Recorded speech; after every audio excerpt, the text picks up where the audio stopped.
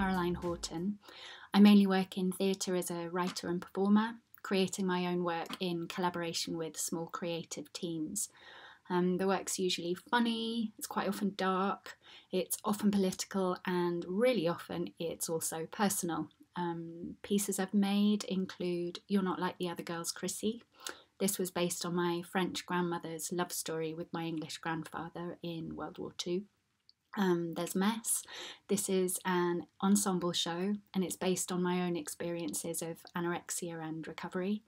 And then most recently, All of Me, um, a solo show about depression and capitalism and keeping on, keeping on. Um, again, drawn from personal experience. Um, I mean, other work that's not so clearly biographical or autobiographical still always draws really deeply from personal stories.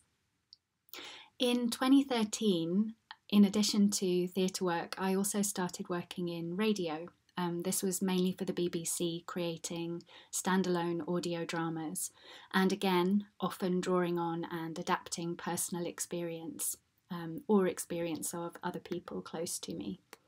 Um, but I also contribute various episodes to radio series. What else? Um, increasingly, I do a lot of mentoring and directing dramaturging work on other people's pieces of work as well. And if you're curious, you can find out more about me on my website, carolinehorton.net. Well, first I work out what I want to write about.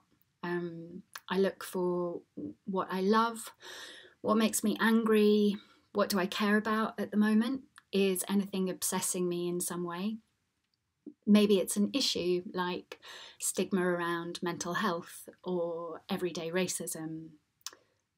Otherwise, maybe um, maybe there's a person that um, I love listening to. Um, maybe it's your grandfather's stories, or or again, maybe it's a particular world that fascinates you. Um, something like the world around horse racing or your local amateur, amateur dramatic club or the kind of life and characters around a support group. And then at that point, once I've worked out what it is I think I want to write about, I start researching. And depending on the subject, I will read, I'll watch relevant seeming documentaries and films, ask questions of people with aligned experiences or perhaps even experts in, in the field. I might conduct interviews with the people involved, especially if it's biographical material that I'm dealing with. And I kind of saturate myself in it all, um, allowing my interest and the complexity of my ideas to grow bit by bit. Then, alongside this, I'll start gently considering these questions. So, why do I want to tell this story? Why should I be the one to tell it? And why should I tell this story now? Um, alongside these questions and my research, I'm going to also be thinking about um, how I want to tell this story. So, does it feel right that it's an audio piece rather than, I don't know, a series of poems or a play or, or something else? Um, what am I interested in doing with this piece stylistically? So, for example, do I want the audio piece to have a particularly kind of documentary feel? Um, or am I interested in playing with hearing a character's internal voice? Um, does silence feel particularly important and like something I want to play around with? Um, and do I have any ideas around music and sound design? Moving on from that, another big question I always ask myself um, and keep asking myself as I approach a new project is what experience do I want the audience to have? Um, do I want them to leave deeply moved? Um, maybe I want them to grow their understanding around a particular issue. Do I want to challenge them? Um, do I also want to make them laugh? Um, do I want to help them appreciate the small things, etc., etc.? Um, so that's a little bit about how I'd begin. And um, I'd also say don't worry about having the answers to these questions locked down. Um, your thoughts are going to shift and evolve and deepen over time, but I find these are important questions to consider along the way. Um, when I was at drama school in Paris, the teacher, um, Philippe Gaulier, said as he looked around the room at his 20 or so students that there were so many beautiful and extraordinary stories right here that no one should ever need to do another adaptation of War and Peace. I have nothing against adaptations actually, um, but I also think he's right and that every one of us has characters and stories within us and around us that could make really incredible bits of art. Um, it also means that you're going to be offering something truly unique as well. Saying that, I think it's always really valuable to put some distance between real events and the dramatised version. I mean, this this can be done in lots of ways. It might be through the heightened style of the piece. Um, it might be by just changing the names or the places or the details. It might also involve weaving other fictional stories or other strands through the biographical and autobiographical elements. Even in pieces that I've made that are openly autobiographical, it's never like a diary entry the original material will have been reworked, transformed, converted into something whole and new. And this distance really allows me to take more liberties and be more playful.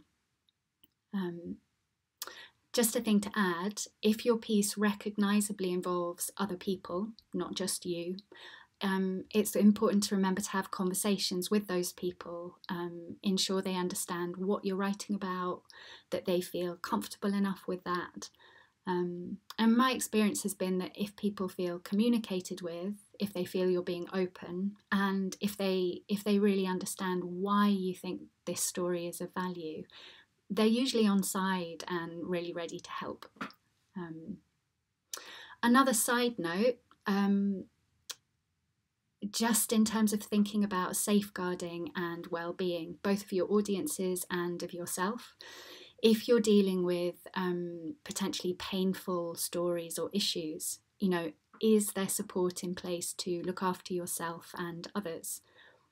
I've often worked with an artist well-being practitioner to support a creative team and myself um, and we put little things in place like a check in and check out with the team at the start and the end of a work session.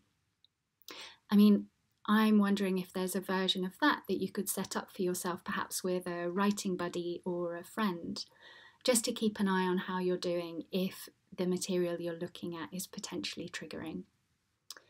And then, in terms of audience care, before the piece is broadcast, might it be responsible to mention the potentially triggering subject matter? Um, and then at the end, to signpost audiences to sources of support and further information. So you've done your research and you feel like you're more or less ready to go. Um, so I thought I'd just share a few techniques that I find useful. Um, I think it's important to say that everyone is different. Some of these are going to work for you, and others will leave you cold. And I think it's important to listen to those instincts. Writing isn't like jobs where you need to sit at your desk from nine to five and work through some clear tasks. Um, you'll gradually develop a personal toolkit of things that help. Um, going for a long walk might be much more helpful at certain points of the process than staying tied to your desk, staring at your computer screen, hoping that inspiration is going to strike. Um, so I think it's about being playful um, within the work. Um, so, first off, I thought I'd talk a bit about storyboarding. Um, so, something I find really useful is on small bits of paper to write down moments that you know you want to happen in your piece. Um, they might not feel complete yet, but um, if you trust those instincts that you know you want them in there, they'll gradually build into scenes as your thinking develops.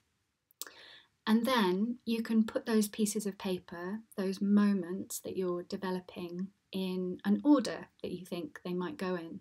Um, you can then change the order, move those papers around, play about, um, and also start to recognize um, if there are any repetitions in there. You know, just some moments do the same job as other moments. I find this moment as well in the process really useful to look out for flavours that might be missing in your piece. You know, is there enough range and variety here? Are quieter moments mixed with moments of conflict or surprise? um, moments of joy or excitement, just thinking about how is the balance of your piece feeling? Is the audience going to get that experience that you want them to get?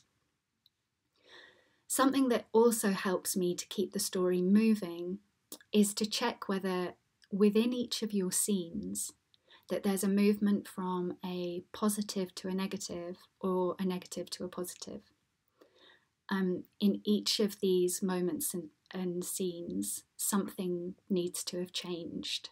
Um, and this might be an emotional change. It, it isn't necessarily a plot event.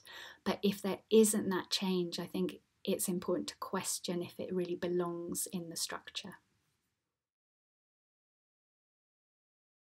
Here are some exercises I find helpful generally, and especially helpful if I've got myself stuck or I'm a bit bored. So, number one, I try and take myself, the writer, out of the picture and allow one of my characters to decide what happens next. Maybe even letting them write the scene and see if that offers me kind of fresh perspective.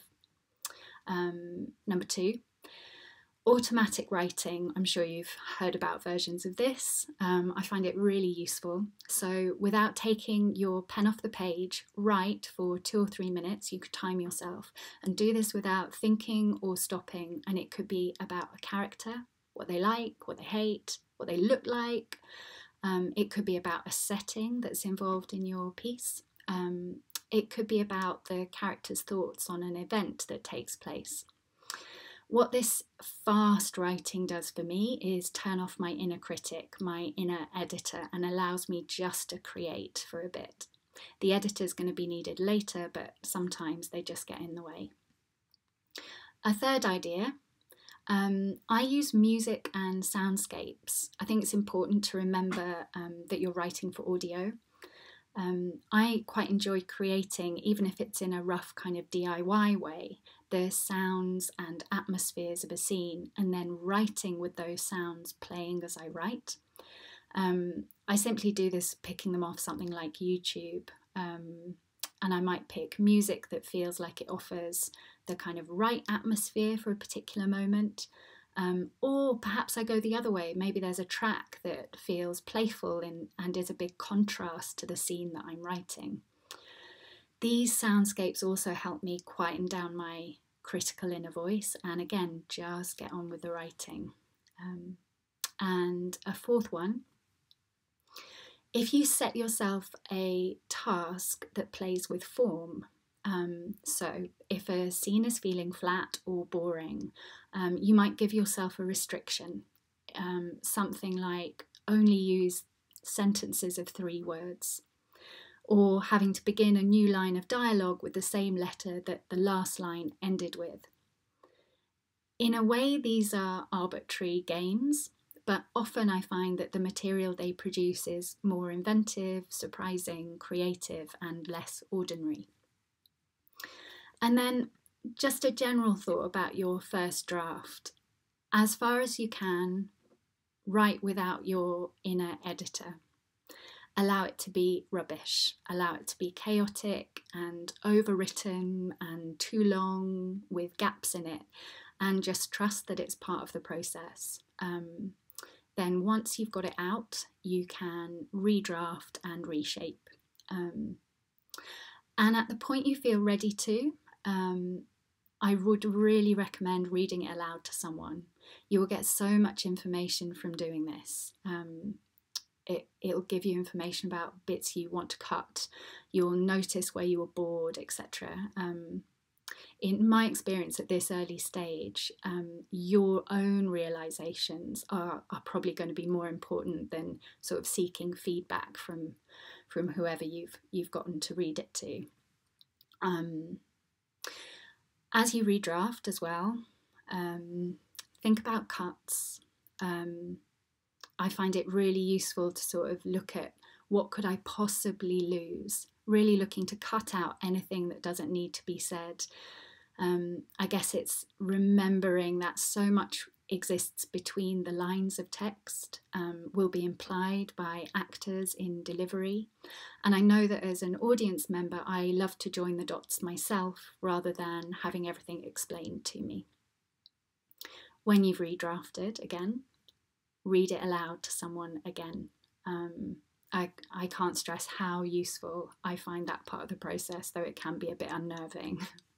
um, and yeah, this process could probably go on and on, redrafting, reading it, redrafting. Um, and that's why we all need deadlines.